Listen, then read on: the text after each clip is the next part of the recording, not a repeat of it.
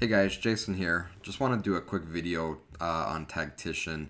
It's a tool that I use every day. If you are using Adobe DTM, you absolutely should be using Tagtician. It is such a valuable tool, not only to help debug and look for issues within your implementation, but, a, but as a research tool to evaluate what other companies are doing um, that you may want to replicate within your business and um, implementation of Adobe DTM.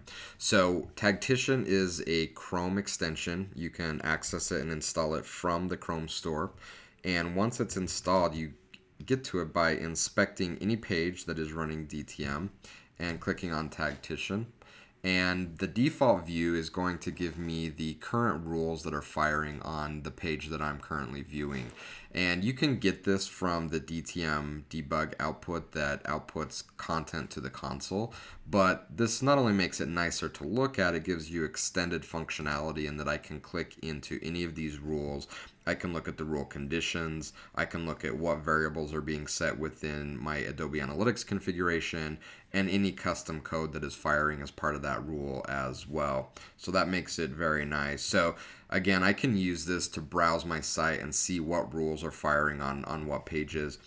I can also use it to explore my entire DTM library by selecting the view library option. So now I'm seeing everything that's included in my library and I can do deep searches across all of my content, which um, is somewhat difficult to do in DTM. So if I want to search for everywhere where page is found, uh, I can go ahead and do that. And not only does it help highlight any rules where page is found, but it also finds page within the content. So um, whether I'm setting a variable or it's set within custom code, anywhere where page is present, um, it uh, searches within those rules and finds it. So if you've ever been frustrated trying to track down a specific instance of something, this search feature alone will be extremely valuable for you.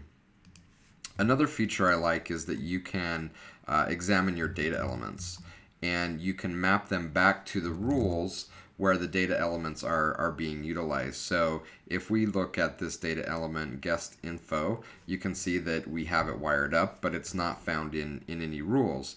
Um, if we looked at this lead type element, we can see that it's referenced in, in four different rules in DTM. So a great way of, of tracking data elements through to the rules that are leveraging those values. Um, so just a couple of ways that, that I use DTM as part of my everyday workflow.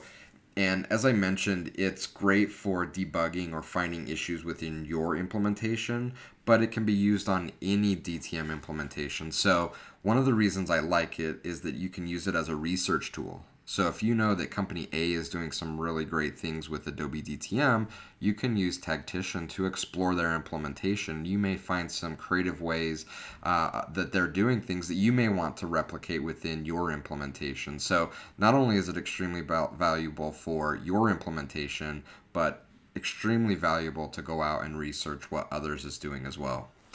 Hope you found this helpful. Hit me up if you have any questions and happy coding.